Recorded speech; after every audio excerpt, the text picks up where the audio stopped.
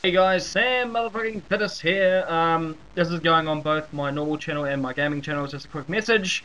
I'm going to be trying out my live streaming. I've got XSplit. I'm going to be trying it out tonight. So if you want to come join me, ask me some questions. I'm going to be playing League of Legends because I'm a faggot. but uh, I know I haven't been uploading much content. But I hope live streaming can sort that out. So um, yes, I'm going to be live streaming. I'll probably like send out a message when I am live, but you can go and follow me. Link to my live stream will be in the description.